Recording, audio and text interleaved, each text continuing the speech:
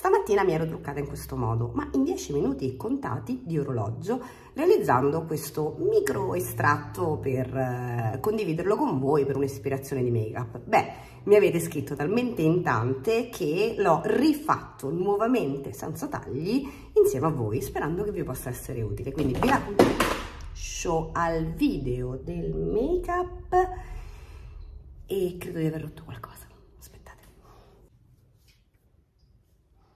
Ecco appunto, sì, vi lascio al video del make up e vado a sistemare il danno che ho appena fatto. Comunque realizzatelo con la gamma cromatica che preferite, con l'intensità che più vi piace e aspetto le foto dei vostri tentativi. Buona giornata, buon anno ancora, ciao amiche mie! Struccata, quindi idratata, ho ripassato tutto, siero, crema e contorno occhi e cerchiamo di fare senza tagli il make up del um, Get Ready With Me velocizzato che stamattina vi è piaciuto. Allora, ovviamente, ripeto, idratata la pelle, eh, perché va sempre idratata, ho passato il siero, il contorno occhi e um, la crema Passo un siero fondotinta, voi ovviamente eh, passate la vostra base, eh, sto passando questo qui di Clinique che rimane molto leggero e appunto dall'effetto di siero, quindi la pelle rimane in trasparenza, rimane abbastanza elastica.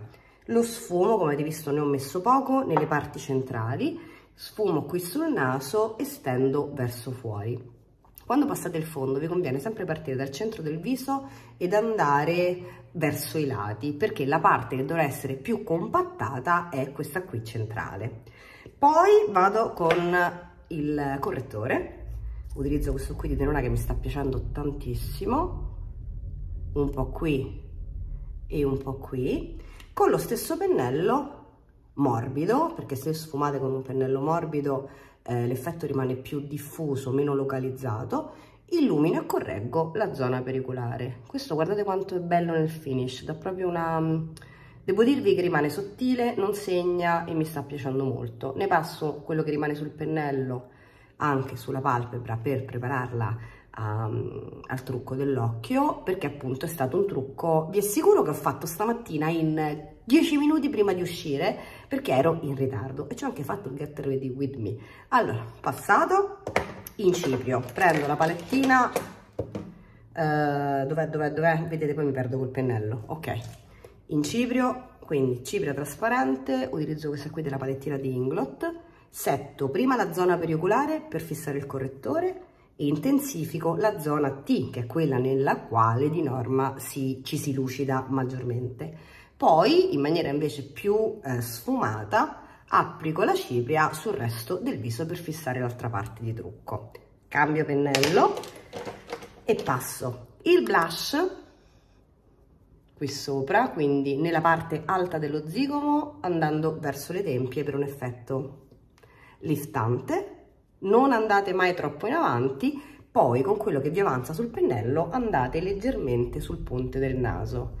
Stesso pennello, se dal blush passate alla terra lo potete fare, invece creo un, con una terra fredda un po' di sfumatura per andare a sagomare l'ovale, che in questi giorni dopo le mangiate ci sta tutto ombreggio anche il mio frontone, ma voi ovviamente se non lo avete come il mio non ne avete necessità, e poi un pochino qui sul naso. Ricordatevi che se vi piace anche l'effetto liftato, andate leggerissimamente a creare un'ombreggiatura anche al di sopra delle tempie. Ta ta ta, fatto. 3 minuti e la base l'abbiamo fatta. Poi sopracciglia, matita, oggi non, non passo il gel, vado a ricrearmi i miei pelettini con la mina di NYX alzo un pochino qui l'angolo. Questa scusate è la fase in cui non riesco a parlare e a disegnare insieme sia quando faccio le sopracciglia che quando metto il mascara. Ma essendo un senza tagli non posso stare proprio in silenzio. Allora alzo qui l'angolo disegno i miei peletti curvo e cerco di andare nel verso delle mie vertigini Ogni tanto riprendo lo scovolino e pettino per vedere se ci sono punti con discromia, tipo qui un po' mancava, ma non fatelo troppo pieno in questa parte perché sennò si vedrebbe che artefatto. Qui si vede bene anche nel, nel video velocizzato, in realtà salgo perché vado a disegnare la mia altezza, quindi l'H del mio sopracciglio, leggermente più su per aprire lo sguardo. Non salite troppo perché se invece lo fate troppo così sembrerà sempre uno sguardo un pochino troppo stupito. Intensifico qui perché non devo esserci stacchi, tiro verso giù e qui sotto cerco di fare una bordatura abbastanza eh, definita, cioè non deve essere un taglio netto, ma deve essere una bordatura molto lineare e armonica. Dopodiché mi sono munita della palette, della all over, prendo il chiaro con il polpastrello, il color panna opaco, ne passo un po' qui e un po' qui, io lo sto facendo con la all over, voi fatelo sempre con quello che volete, Ah, avrei potuto fare il contouring e il blush anche con l'altra parte di qua. Di qui adesso mi passo l'illuminante. Ho preso l'altra perché c'era la cipria. E mi setto il correttore che ho passato e creo la bordatura chiara. Poi una matita nera, qualsiasi vogliate, io ho utilizzato questa qui di MAC che è a lunga tenuta e sono andata senza tirare l'occhio a tracciare una righina verso fuori, oltre l'intersezione, vedete, con la piega palpebrale e un po' di prodotto poi l'ho portato verso l'interno. Qui vi può anche venire non proprio definita. Prendo un pennellino prima che si mm, asciughi, perché questa appunto si asciuga a lunga tenuta, ma se avete una matita morbida potete passarlo su tutti e due gli occhi e poi sfumare. Con il pennello distribuisco prima la pasta della matita per un effetto un po' più soft e allungo leggermente la codina ovviamente lo vado a fare anche di qui. Se siete molto brave molto pratiche ehm, potete andare anche direttamente con l'ombretto a fare questo gioco. Con la matita se a lunga tenuta vi durerà sicuramente di più. Di qua continuo a avere problemi per guardarlo quando chiudo gli occhi perché guardandomi nel telefonino vedo tutto molto sfocato perché da questa parte è un occhio pigro.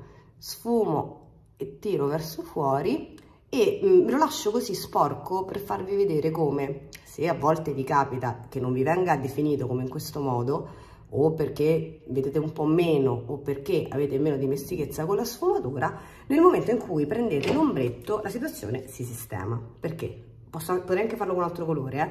matita nera, prendo il nero e picchietto sopra la riga che ho fatto il colore con un pennellino in diagonale non vado troppo in avanti e qui faccio la mia codina.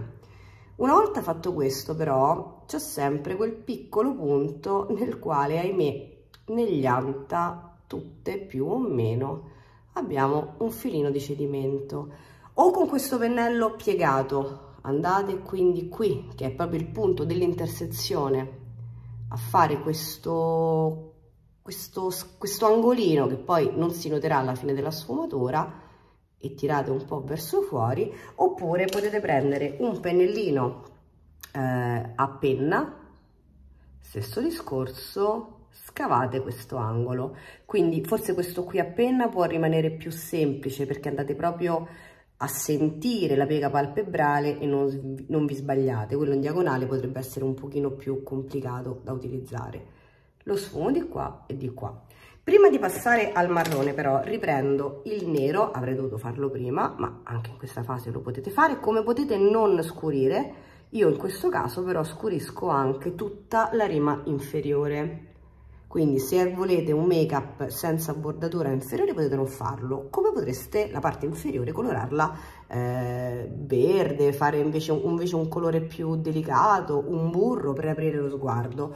Io ero rimasta su questo concetto, ma la matita quando la passate sotto ricordatevi sempre prima di sfumarla un pochino, perché deve distribuirsi la parte, la pasta della matita e poi con un ombretto o con una polvere, potrebbe anche essere la cipria trasparente, ehm, andate a fissarla. Io riprendo la terra perché vorrei un effetto molto delicato come ho fatto nel video e ehm, sfumo al di sotto e fisso la bordatura che ho creato. Poi per dare quell'effetto di occhio più allungato prendo il marrone, prendo un pennello da sfumatura e parto esattamente da quell'angolino scuro che avevo intensificato sfumando prima lungo la piega vedete faccio mezzo eh, mezzo, mezzo, mezzo semicerchio poi inclino il pennello senza riprendere niente e sfumo verso fuori. Facendo questo create un'ombreggiatura correttiva dello sguardo. Lo rivediamo anche di qua.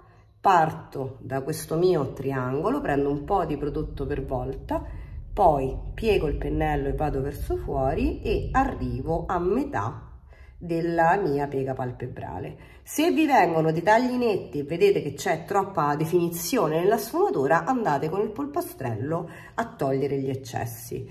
Poi prendo un altro colore, che è la terra, intermedio o un color più beige, quello che volete, anche un blush, e salgo con la sfumatura andando verso il chiaro che ho passato sotto il sopracciglio ma senza toglierlo del tutto e più dentro. Quindi se io con il marrone scuro mi sono fermata a metà dell'occhio con il colore transitorio con il blush con la terra che è un colore più ehm, delicato vado un pochino più in avanti per dare ombreggiatura anche a questa parte.